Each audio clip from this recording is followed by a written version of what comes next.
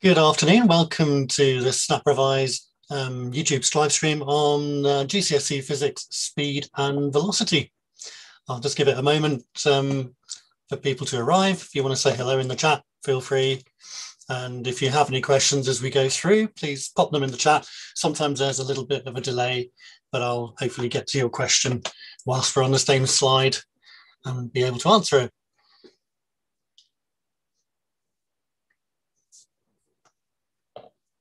So we're going to be talking about the GCSE content for speed and velocity.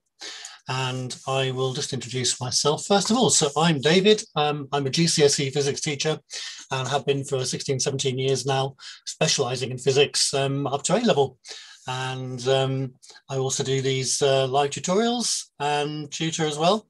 Um, and for SnapRevise, we're able to offer at the moment for the tutoring a free trial. So if you are interested in taking seven days without any commitment to pay or continue, then on the screen now you'll see there's a, a code you can enter at the checkout, which is Tutor Trial 7. Um, hi there, Khadija. Um, and if you go to the SnapRevise website, which I'll show you in just a moment, you can sign up there, set up yourself an account, and um, select which courses you would like to take part in. Let's have a quick look at the SnapRevise website so you're familiar with where you can go. So that now should be in front of you. Um, if you go to snaprevise.co.uk, this is the homepage you'll uh, land on. And then if you click on sign up on the top right hand side, and then get started. I'm a student. Then you can sign in there with your details and you can use the code uh, tutor trial seven to give yourself seven days free trial. Um, you can choose which courses you want to uh, include yourself in. Um, they will involve four or more sessions a week, including live tutorials uh, with small groups of students where you'll get a chance to get um, independent individual help um, and also the advantage of being able to discuss and, and involve yourself and chat with other students who've got other questions as well. We also do live drop-in sessions, which are a bit like a sort of a seminar if you're on a university course. Um, so for GCSE and A-level, we will be available for at least an hour a week, and we're there to answer your questions. So if you email in a question that's come to mind after one of our live streams or one of our uh, Zoom tutorials, then uh, we will always um, make sure we find example exam questions and our tutors uh, will be able to go through additional support questions and clear up any further misunderstandings or problems you might have. Um, from the SnapRevise homepage, if you click on tutoring in the top in the middle there, there you can see the different courses that SnapRevise are offering.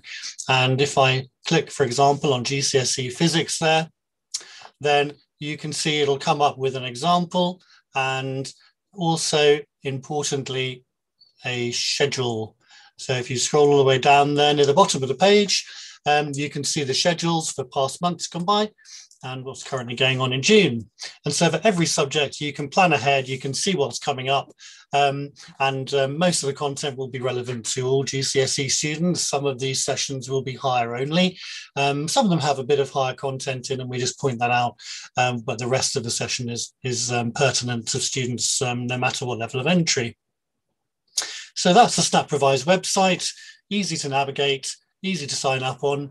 Um, you may as well get yourself a free trial as it's completely free for seven days. And if you have any friends who you want to encourage to get online and use our services, that would be really good. Right, let me get back to today's session on velocity and speed.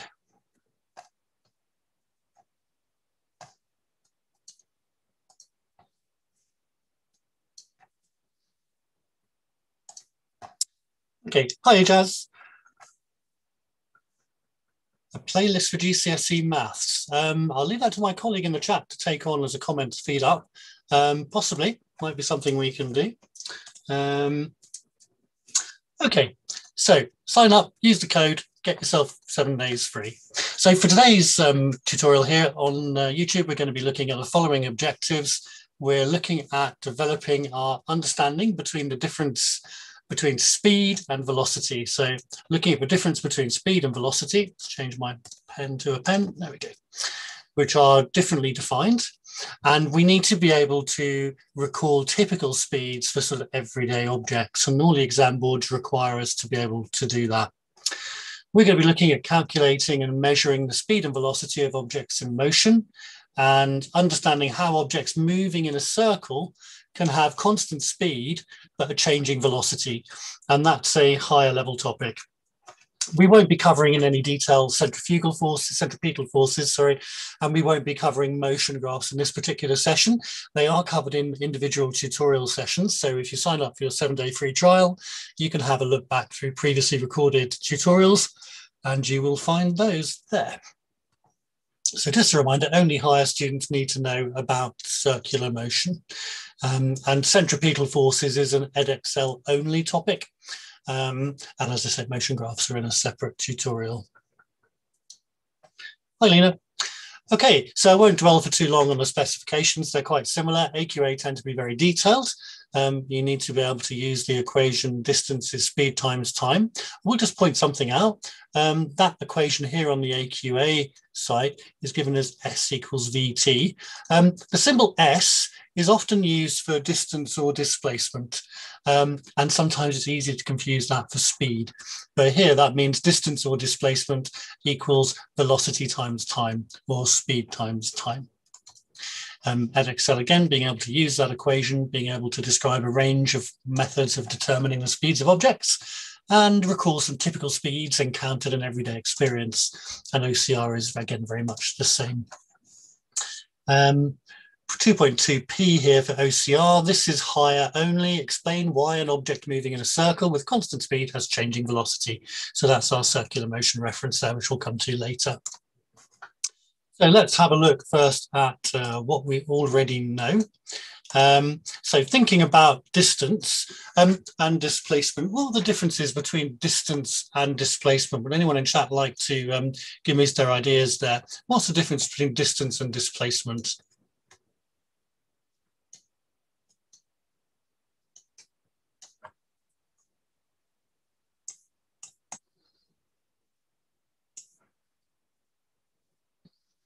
So the distance, um, I am, the distance that an object or a, um, a, system moves is just the length of a journey. So it's um, just a length.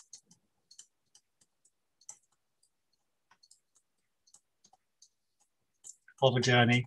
And that journey could take a really circuitous path. It could be winding around different roads or you know, from A to B. Um, and it's the overall complete length of the journey that's been taken. Whereas displacement is a vector quantity. So distance is scalar. It has magnitude and no direction, but displacement is a vector. And they're the important differences between the two. Um, it's a vector from a start to an endpoint.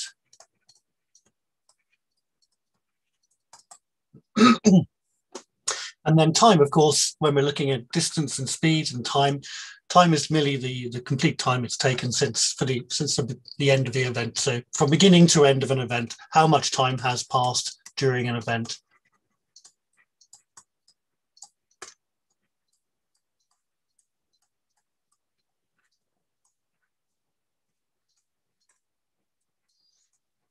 And that event might be in the case of an exam question, uh, something accelerating from a standstill to 30 meters per second or decelerating from one value to another.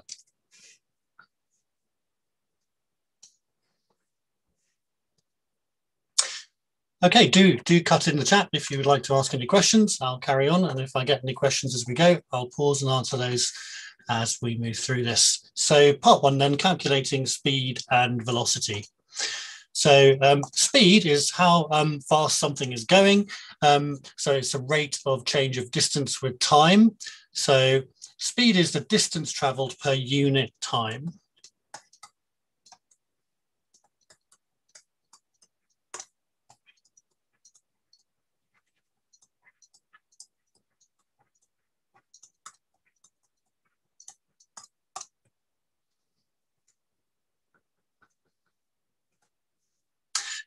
Hi, Lena. In terms of exam questions, um, I'm going to come on to a few example questions later on. So um, we'll have a chat about those later and I'll talk about exam technique where I can. Um, there are so many questions that can be asked with uh, relating to distance, speed and time and velocity. They're all of a certain type. There's not really much variation between them, but the context can be very different. So, um, but the examples we'll give will, will I hope, help. Um, so speed, distance, per unit time. Here we've got a nice Newtonian apple falling here. So as that apple is falling, time is passing.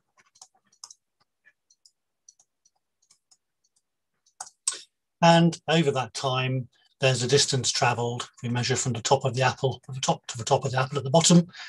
There's our distance we could measure. And our speed would be that distance divided by the time taken. The velocity is similar, but very importantly has a direction included. So velocity is speed, um, but um, in a given direction. So we're asked to find the velocity, we must also give a direction. So if we knew the time that had passed for this apple to fall, and we knew the distance it had traveled, then we could do distance divided by time and find the speed but we wouldn't be giving a velocity unless we also said down in our answer. So um, some way of describing a direction needs to be included whenever you're stating a velocity.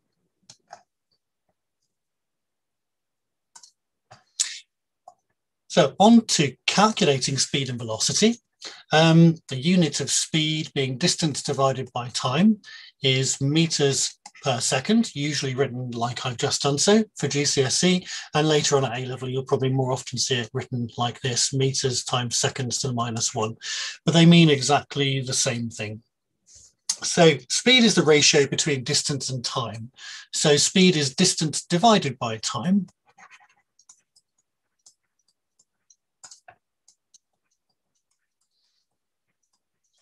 And usually we're measuring distances in meters as SI units and time in seconds. And in terms of exam technique, be really careful when you're given questions on this topic because quite often there'll be a scaling factor that you need to include. So you might be asked to find the speed of something in meters per second, but you might be given distances in centimeters or millimeters or kilometers, and times might be in minutes or hours as opposed to seconds. So there's often some conversions that you, you may need to do. So Speed is distance divided by time. Speed and velocity in terms of the calculation are the same thing. And distance is often uh, depicted by the symbol S or letter S for displacement. So S is distance or displacement, T is time. So there's our meters on top, there's our seconds on the bottom, giving us the unit meters per second. And the average speed of an object is just the total distance traveled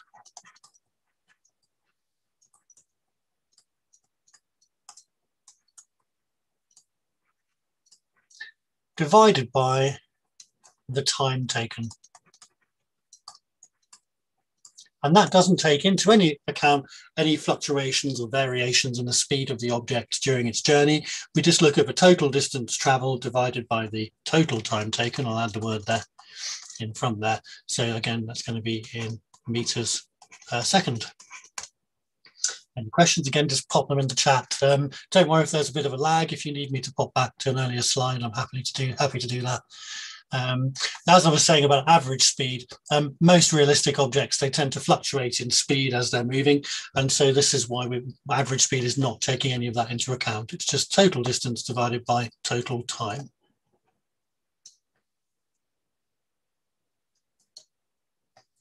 So let's have a look at a couple of examples, calculating speed and velocity.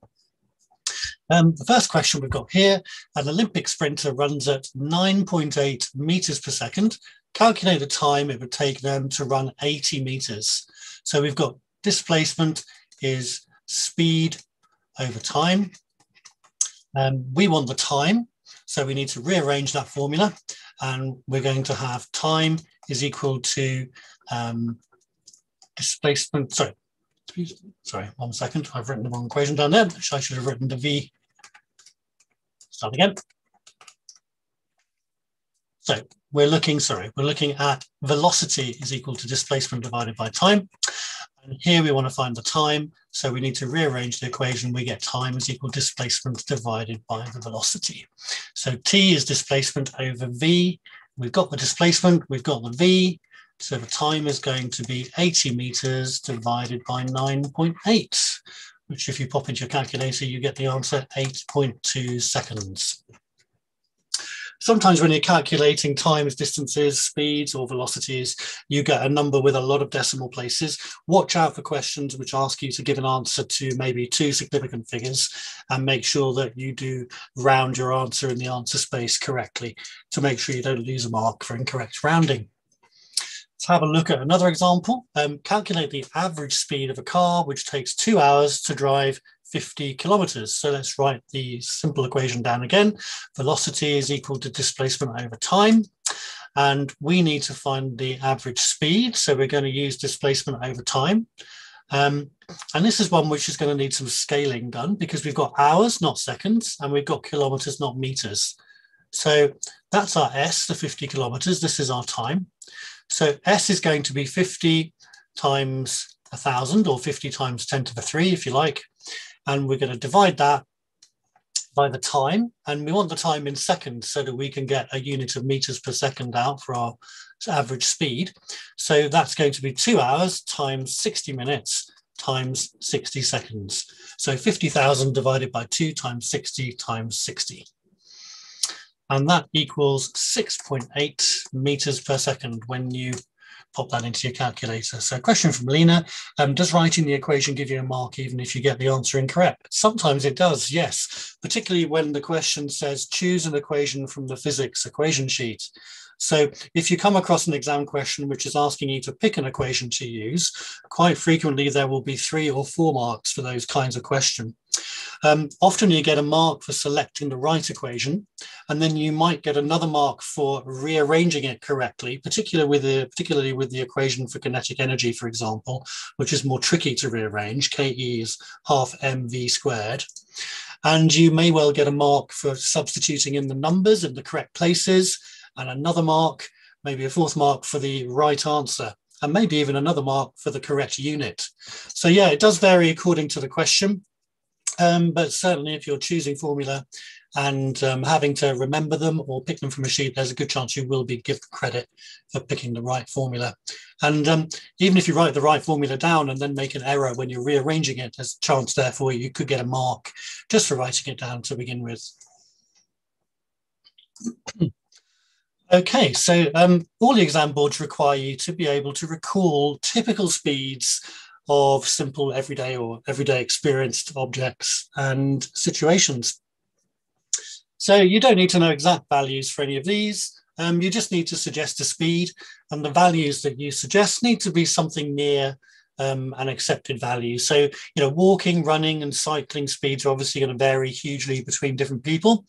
Um, so younger, fitter people are going to go faster than older, more unhealthy people and Olympic athletes are going to be moving much quicker. So um, yeah, Usain Bolt was traveling around 10 meters per second when he set the 100 meter world record. So that's a lot faster than the average person uh, walking or running. Um, and the distance you're traveling also affects your speed. If you're running a long distance, then your average speed is going to be a lot lower. Whereas if you're running a very short distance, your average speed will be a lot higher because you don't have to sustain that energy um, output for so long. Um, and there'll be fluctuations in all of these speeds. Um, sprinters take a second or so to get up to full speed. Long distance runners will speed up near the end of a race to use up um, the remaining energy and get the most out of their training. And vehicles, of course, also have fluctuations in speeds, changing speed limits for cars, trains slowing down for bends, and so on. So we just want a rough idea of typical speeds of these everyday situations. So for somebody walking, a good number to consider is about 1.5 meters per second. So not very fast, a gentle walk is about one and a half meters per second. Now, the average person running or jogging might just be twice as quick as that. So um, three meters per second is quite acceptable for someone who's running. Like I said, we're not talking Usain Bolt here. We're not thinking of someone who's running at 10 meters per second because that's quite unusual. And then we got someone cycling. Well, um, again, if you were cycling, you probably wouldn't generally cycle as fast as Usain Bolt. So we're going to just double the running speed. and say six meters per second. So these are quite easy to remember because we're doubling them each time. So walk, run, cycle, one and a half, three, six. So if you remember the walking and know to double it for the other two, that will help you remember those rough numbers. Um, if you don't, just have a sensible think um, and make a, a, scientific estimate in an exam. They will give you a margin here, so you don't have to give exactly these answers. Um, a car traveling, say, uh, on a motorway might be traveling at 30 meters per second, so considerably quicker. And um, the train could travel twice as quickly as that, maybe an intercity train, 140 meters per second, sorry, miles an hour, perhaps. So um, closer to 60 meters per second, unless it's a Japanese bullet train, then it might be going considerably faster than that. Um, and then an aircraft, um, maybe 200 meters per second. So these are approximate values which are sensible um, and typical estimates for the speeds of these different objects. So how are we all feeling about what we covered so far? We've done the speed equation. Uh, so velocity or average speed is distance over time. And we've had a look at some typical velocities and done a few examples. Um, those in the chat, if you can give me some ones, twos or threes, I'd be really grateful just to give me an idea of how secure you are in what we've covered so far. And if you've got any questions, then now's a good time to ask them and I can um, recap anything you'd like me to. Thank you, Arvin. So Arvin's on two, so he's all right with that. That's good. Do rerun this at any point if you'd like to. Um, you can uh, rewatch these streams. Um, great, thank you, Lena. Um, it's it's designed to be friendly. I mean, this this it's not too tough, but it doesn't help you when you get told that this is easy, really. Um, but when you've been exposed to these type, kinds of questions for uh, you know for long enough, and you've done lots of practice, you will find they get easier and easier. So it's just intended as a recap to help you set back in. Okay, let's move on to another example question then. So this one is an Edexcel question from the foundation paper, and this is quite an old one. Um, like I said earlier, the exam questions don't vary hugely. Um, so although this is from the old spec, it's still something you could have come up. So some students investigate the speed of cars. They measure the time it takes each car to travel a distance of 80 meters and the table shows some of their results. So I tend to advise students to underline or highlight things in questions to help them think about them. And the first thing I'm noticing is that the distance travel column is all the same. And it says it in words at the top here. They're all traveling 80 meters, which is important. First part of this question, just for one mark, is state the color of the slowest car. So we're looking for the one that took the longest time. Now they're all going the same distance, so we don't have to do a calculation here. We don't have to um, do anything other than look for the biggest number in time here, and that's 5.6. So the answer to the first part of the question will be the white car is the slowest. It took the longest time to cover 80 meters. The second part of the question for two marks is going to require you to do a bit more and it needs a calculation. Calculate the speed of the black car. So we're looking at the second row from the bottom of the table. I'm um, going to write down the equation. Average speed or velocity is equal to displacement or distance divided by time. That's exactly what we're going to use. Um, the displacement is 80 meters and the time is 4.3 seconds the units in there as well. Putting the units in because then you can always see what the units is going to be for your answer. It's going to be meters per second. You can always calculate units, even if you can't remember, by looking at what calculation you've done. And when you pop those numbers in your calculator, you should get out 18.6 meters per second.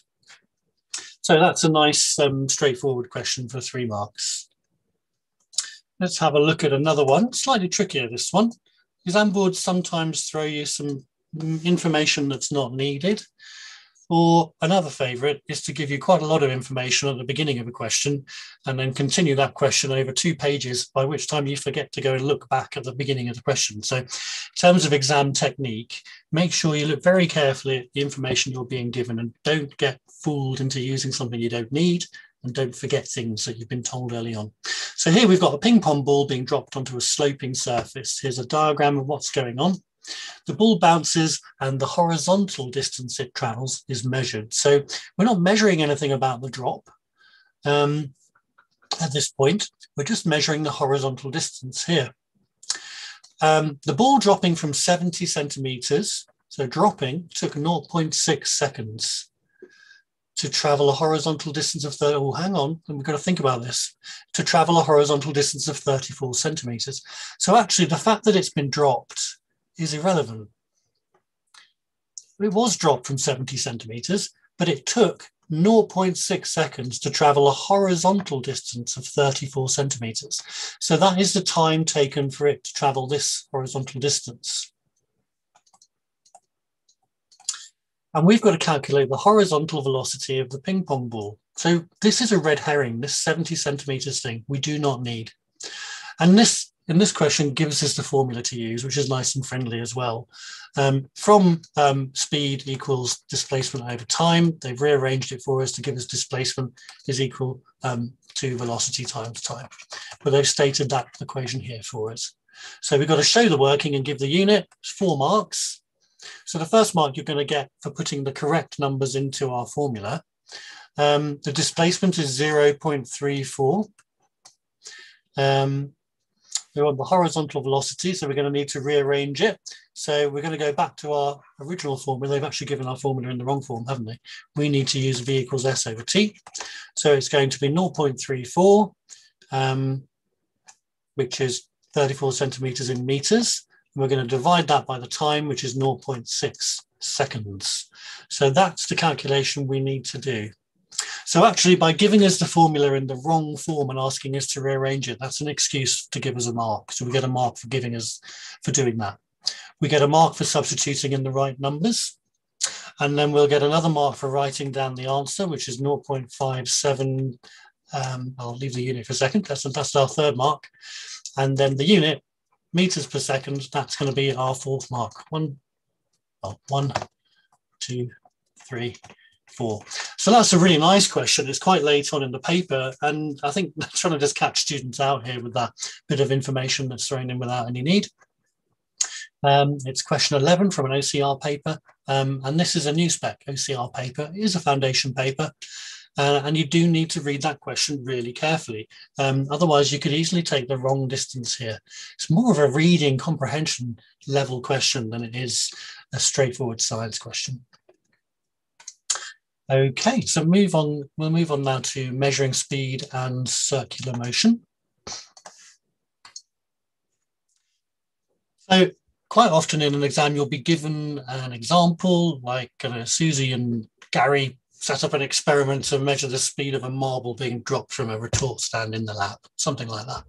And you might be asked to describe how could you um, use light gates, for instance, to measure the speed of the, the ball being dropped or the, or the piece of card moving through the light gates. So you need to have an understanding of how um, some data logging equipment works. And hopefully you will have had some time to see or experience for yourself data logging equipment in the lab. But a light gate works by when an object passes through the gates of the light gate, so passes through the um, light beam from one side to another, um, the light beam gets cut. So when an object passes through the light gate,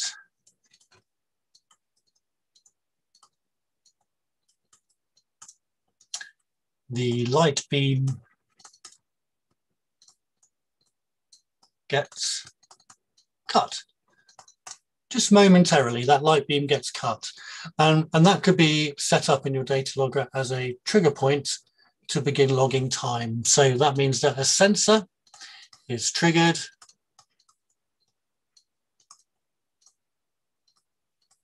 to log, oops, tog for some reason. So a sensor is triggered to log time. Well, that could be the time for a piece of card of a known length to go through the light gate, triggering it and then allowing the light beam to pass again. And that could be used if you know the length of the card, you know a distance, you know a displacement and the time it takes. You could get the, uh, the, the, data logger to calculate a, a speed directly from that. Or it could just be a very short trigger to start something and another short trigger to stop it.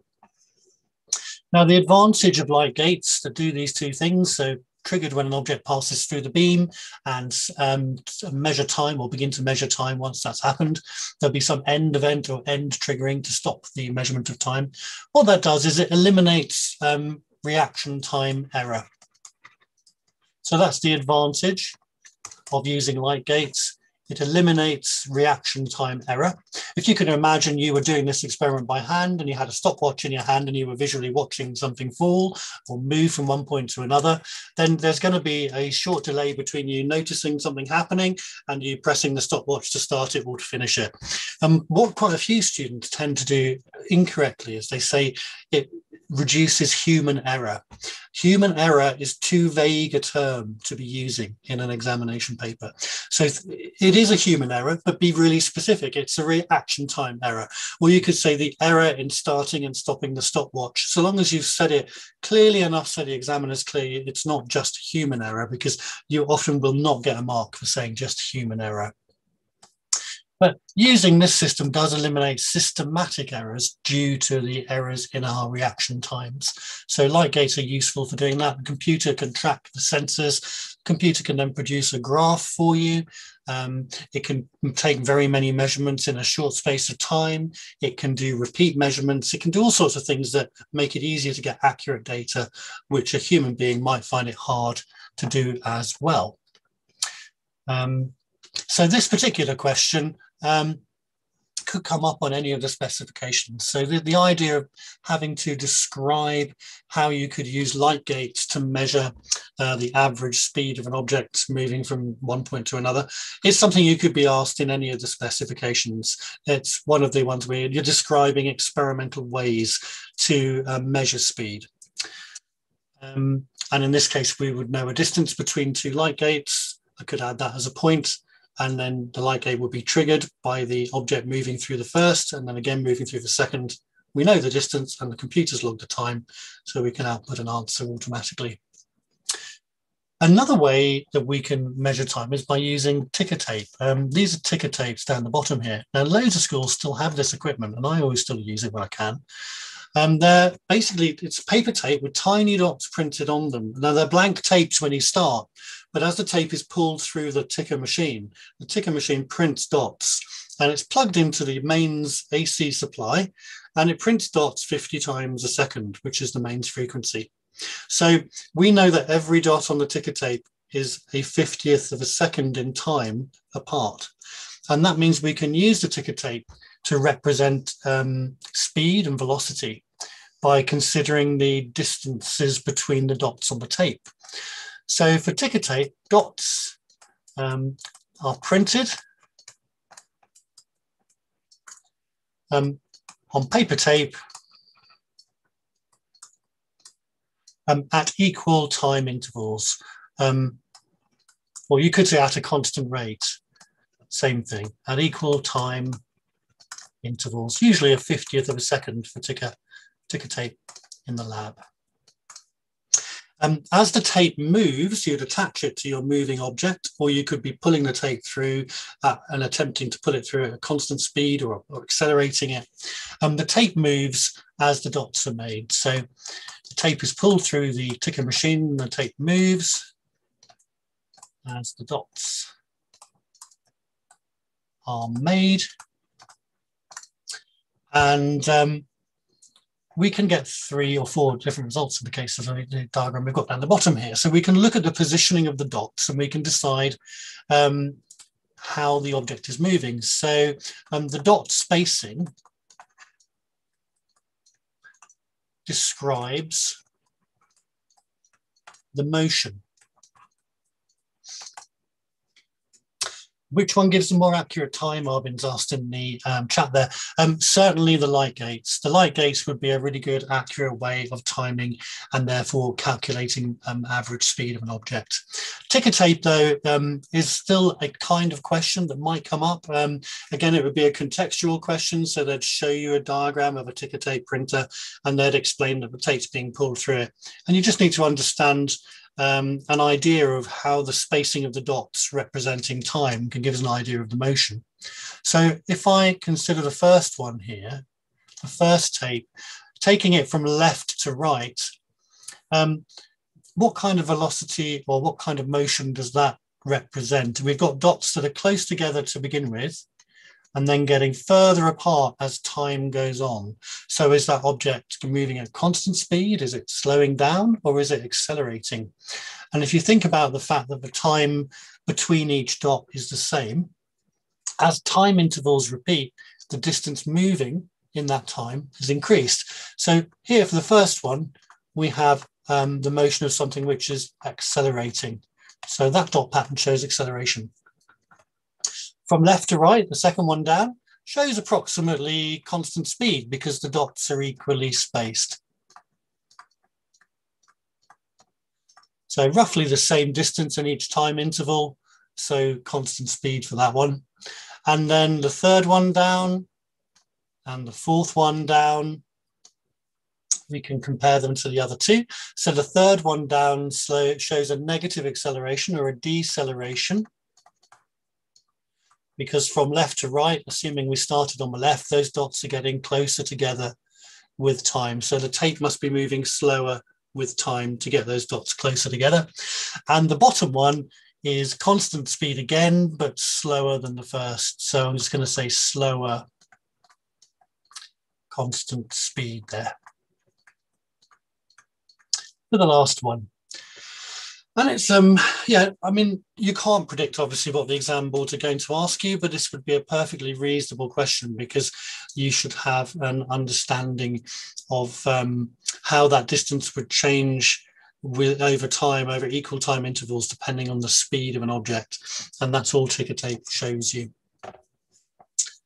Okay, so yeah, we pull the tape through, the dots get printed out. The faster we go, the more spaced out the dots become. Um, every dot represents the same time interval. And so the distance between the dots is proportional to the speed of the tape. And that's how we can write down these four descriptions of the motion. How are we feeling now about that? I'll come back to some other speed measurements in just a minute. So far, are we finding that straightforward now? All right, are you getting a bit confused? Please tell me if you are, um, and uh, I'll come back and help you. So we've um, covered two experimental methods there of measuring speed using light gates or the older way, but still very valid of using ticker tape, and light gates would be the most, most accurate. Okay, let's have a look at some other speed measurements. Thanks, Lena. Thanks, Arbin. Good. Um, two is good. Um, we'll have some more practice questions in a minute. And I'd always urge you to have a look at the resources on the SnapRevise website and the exam boards themselves. Um, download past papers is it's one of the best ways of preparing for exams is just looking at past papers come back to these videos um, when you're looking at questions. If they bamboozle you at all, come back to one of our tutorials and, and go through that again and then come back to the question. And even if you end up repeating a few of the questions, it's, it's all good stuff because you're, you're, you're building that memory and that knowledge and you'll be able to more quickly come up with the right answers the more practice you get. Um, hi there, Evan. Right, let's look at other speed measurement methods here. Um, so you could be, I don't know, surveying the land. You could be um, a charter, a civil engineer or something. And um, you might be walking around with something called a trundle wheel. So a trundle wheel has a known circumference, usually about a meter. Um, so we have a trundle wheel. Um, we know the circumference here. So um, that could be a meter. Let's call it a meter. And you have a stopwatch and you have a little click every time that wheel goes round once. And so as you're walking along, measuring a distance, you can measure distance or a speed. Um, you can walk along and just measure distance by counting the clicks of the trundle wheel. Um, you could measure the speed by counting the clicks, multiplying them by the circumference, which should be one. So counting the clicks and then dividing that by the time taken that it took you to walk between two points. So there's a way you could measure speed using a trundle wheel and a stopwatch. Good luck, Mohammed, in your mocks. I'm sure they'll go well. Um, second method we've got top right here. This is a GPS system. So global positioning systems, they use satellites and um, they receive signals from satellites. They don't generally send signals back, they just receive them. And every satellite in a global positioning system has its own signature. So the GPS picks up the signature. It has a database built into the GPS of what that signature means. So knows which satellite it is and where it is in the sky at any time. And once you've got a minimum of three or four, minimum three satellites, you can triangulate the position of something on the planet. And a lot of GPS systems pick up, you know, 10, 11, 15 satellites, and they can give you a really accurate position um, down to a few centimeters nowadays. Um, we've got speed cameras. So speed cameras, um, I shall comment no more about those. different people have different feelings about speed cameras, but they work by using um, usually some kind of uh, radar system. So they're sending out a radio, a radio wave, which is reflected off an oncoming vehicle. And the pulses of radio waves that are sent out, they're detected when they reflect back. And there will be a change in wavelength according to the speed of the oncoming vehicle. So if the oncoming vehicle is coming really fast, the wavelength is going to get a little bit compressed and um, that's going to be able to be measured within the speed camera. And if the if that means the vehicle is going too fast, it triggers a flash, takes a picture of the driver going like that uh, behind the wheel. Um, so that's using the both of these are using the Doppler effect to work. By the way, the detail about the Doppler effect here um, not part of um, the detail you need to know for this particular unit, but I think it's useful to discuss it. It comes in other parts of the GCSE. Um, the speed gun uh, is pretty much the same thing. So a speed gun, again, it's sending out a radio wave. It could be a laser, so it could be laser light. It sends out pulses of radio or laser light, and when they're reflected back, it measures the difference in wavelength between the emitted wave and the received wave, and um, that can be used to calculate the speed and trigger a pursuit by a traffic cop around the corner. Okay, so I think I've covered everything there that um, is relevant to those other ways of measuring speed. They, and, and these are all things that might come up in a contextual question. Um, you know, you don't need to know the ins and outs of how any of these four things work, but you, you shouldn't be surprised if an exam question comes up and mentions one, that they will give you all the information you need in the question to answer it. Let's move on and have a look at a few more example questions. So here we've got Ben observing a stream of bubbles rising in a glass of fizzy cola. Um, the bubbles are produced at a steady rate. So they're being produced at the bottom here at a steady rate. Um, explain how the evidence in the diagram shows that the bubbles are accelerating. Feel free to chip in in the chat, by the way, when I'm asking the questions. Um, because of the delay, it can make it tricky to to be interactive in real time, but do, do try. Um, I will also give you the answer gradually as we go through. So um, the bubbles are further apart near the top. So if the, the time interval in between the bubbles creation is the same, so we need to state that again, the time interval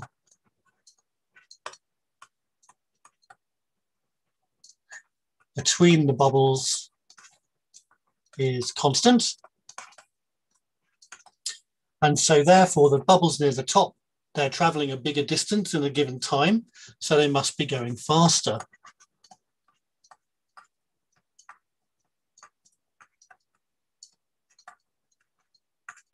So bubbles near the top travel further in the same time therefore they are faster. And there we go. So there's three points there, three or four points there.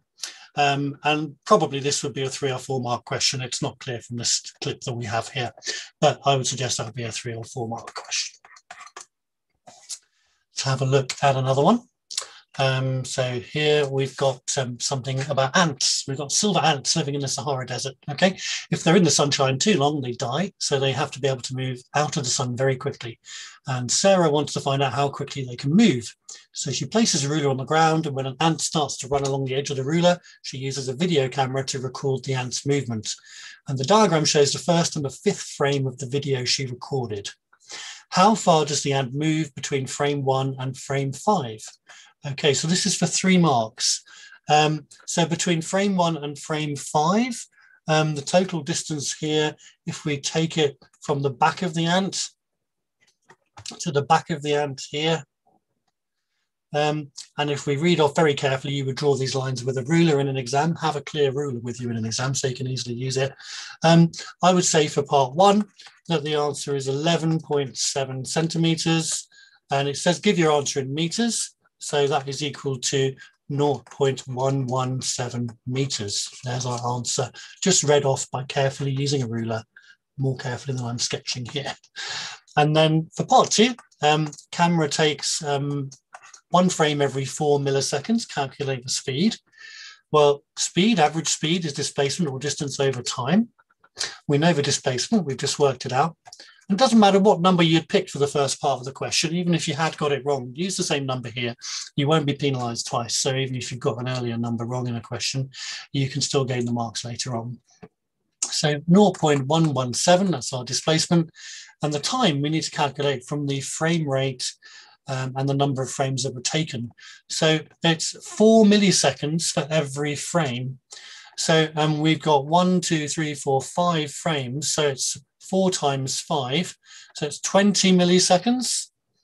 And that's 0.020 seconds because there are a thousand milliseconds in one second, and this is 20. Okay, so 0.117 divided by 0.02, and we get a speed of the ant of 5.85 meters per second. Sounds about right. That's quite quick. If you think back to our um, speeds, that's about the speed of someone cycling. When we were looking at that earlier, we, we said that was about six meters per second, didn't we? Let's move on now and look at measuring speed in terms of circular motion. So this is a higher level topic only. Um, an object that's changing direction, it could be moving at constant speed, but it's also changing its velocity because um, it's changing its direction. So an object that's changing direction is also changing velocity. In other words, it is accelerating because there is a net force acting on it, causing it to change direction.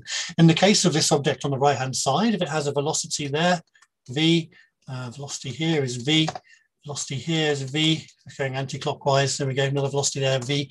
There must be a force acting towards the center here in order to keep it changing direction. And if there's a net force acting on an object, then by definition, it's accelerating. But its speed could be constant. It could be going around this path at constant speed. But because its direction, you can see the direction of the vector is at 90 degrees difference each of the way, each of the places around the circle, we have to say it's accelerating. So an object traveling in a circle is changing velocity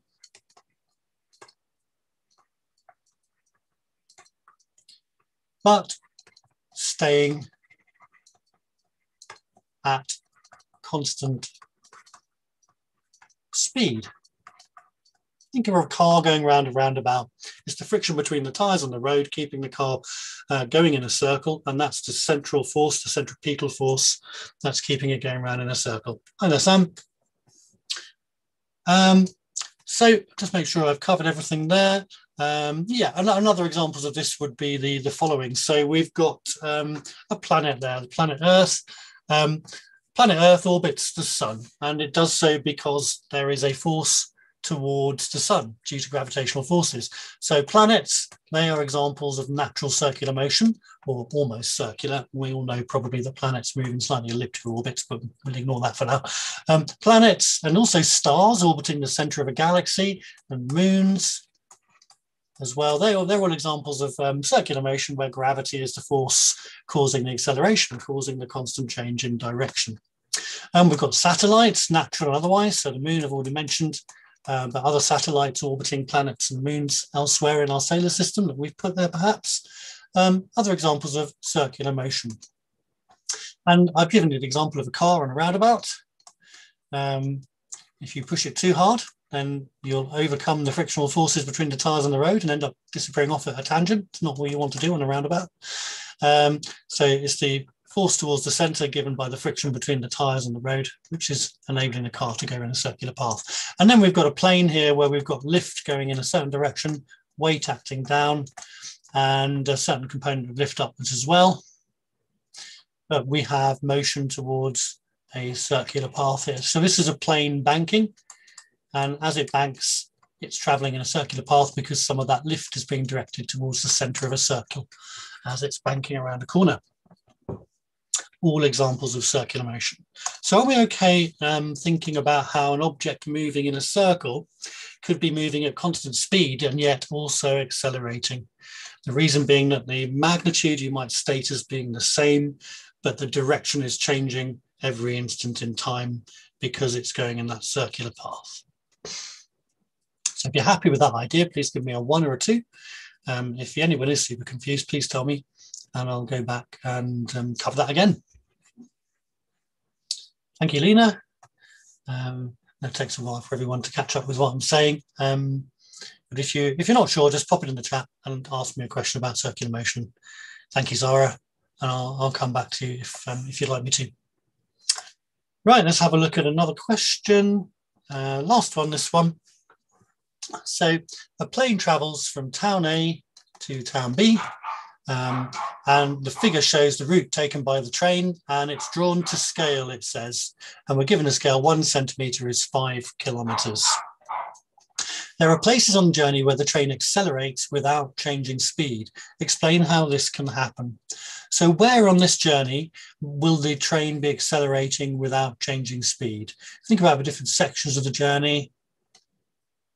Some are straighter than others, aren't they? Some have got quite big bends in them. So how could you explain that this train is accelerating without changing speed? The first thing you would state for your two marks here, we've got to make two good points. First thing that you need to say is that the train is changing direction. So if the train is changing direction, then therefore its velocity is changing. Any change in velocity is an acceleration. So the speed might well be constant. This, the train might be moving at a constant speed all the way through this journey, more or less. But it's definitely accelerating, nevertheless, whenever it goes round a bend. So when it changes direction, we can say the train is changing direction, therefore, or so, therefore, so its velocity is changing, meaning it is accelerating. You cannot have a change in velocity without an acceleration, even if speed is constant. Okay, so we've been looking at these objectives. Um, understand the difference between speed and velocity. Speed is scalar, remember. Velocity is a vector quantity. So speed just has a bigness, speed just has a size, whereas velocity has a, a magnitude, a bigness, and it has a direction. We looked at typical speeds for someone walking, running, cycling, and then a speed of a car, a train, and an aircraft. And then we looked at some calculations measuring speed and velocity and we also looked at methods as well, um, light gates, ticker tape, and so on. And then lastly, for the higher level papers, we looked at understanding how objects moving in a circle can have constant speed, but changing velocity. So you can be moving at constant speed, but accelerating if you're changing direction. And that applies to objects moving in a circle. So does anyone have any questions for me at this point? um, that you'd like me to cover. We've got a couple of minutes for questions. So if anyone's um, not sure of anything I've said, um, please pop your question in the chat. Um, how do you calculate acceleration using ticker tape? Right, okay. So acceleration is equal to change in velocity divided by time. So um, you would look at the velocity between two dots near the beginning. Let's draw a bit of ticker tape. Okay, let's give an example here. So let's say there's um, 50 milliseconds in between each printing. Um, that because it's sorry, 50 milliseconds, is that right? Uh, no, I'm going to say a 50th of a second. 50 hertz, 1 50th of a second in between each one. So we measure that distance. Um, so we get our distance s. Um, we do s divided by uh, 1 50th, and that gives us our start speed. I'll call it S1. So that's our start velocity. And then at the end of the motion of the object, we'll take the gap between the last two dots here. Ignore that little mess there. The last two dots here, this again is um, 1 50th of a second. Um, and this distance here, we're going to call that S2. So um, that's going to be S2 over 1 over 50. And that's our end speed. So start speed is u, end speed is v, final velocity. So we can then look at the total time. That's going to be one, two, three, four, four fiftieths of a second. So the acceleration is going to be final velocity s2 minus initial velocity s1 divided by 4 fiftieths of a second. That's a very quick explanation there, but that's one way you can do it. Um, you can take one interval and you take the end interval, and then you can work out the acceleration of the object, um, knowing the time is the same between each printed dot. So I hope that helps. Um, please go back and review that if I was a bit quick. Uh, any other questions there for anyone else? Okay, just a quick chat then about what's coming up next. So the upcoming web classes, you can set um, reminders on YouTube for these. Um, so we have uh, on the 7th here, we've got four, sorry, 4th of July. Um, these are American date formats. So on the 4th of uh, July, we've got uh, GCSE chemistry on crude oil. Um, and then on the 11th of July, um, no worries, Mohammed, no worries at all. On the 11th of July, we've got maths web class, uh, 3 p.m. the chemistry is at 4 p.m. And then on the 18th of July, we've got another physics web class um, on density and states of matter. And on the 25th of July, a biology web class on diffusion in living organisms. Um, so you can set a reminder for those and uh, you can look up the schedule online. And that's just popped up in our chat. And so you can click on that link and you can uh, save that link on your browser and pop back to it and uh, remind yourself to, to be there. So just a reminder um, for physics tutoring and all of the other topics we, we provide, you're going to get four plus classes a week. Um, we cover the full curriculum. Um, all the handouts you see we use are high quality and you have access to them throughout your membership and also the access to the library of past recordings and one-to-one support. So again, if you had any further questions today, if you were to sign up, you can email in to SnapRevise and ask for us to include um, exam questions on particular topics that you want in our next drop-in session. Um, and we will do that. So you get one-to-one -one support as um, as well as the drop-in sessions. You'll get one-to-one -one support within the the web classes too, um, to to a great extent. What's a ticker tape? go back through the video, you'll see it, you'll see the description. Um, so it's time to, um, almost time to, to, stop now for today. Um, just a final reminder, there's the code there. Uh, enter Tutor Trial 7 when you sign up on snaprevise.co.uk. You will get seven days free access. Try it out. Go to as many sessions, sessions as you can. Encourage your friends to go along as well. Again, if you've got friends who have the same needs as you and the same subjects, then you can make it more fun by getting them to come along too. And um, I hope that's been helpful and um, have a nice evening and uh, a lovely week. Thanks very much.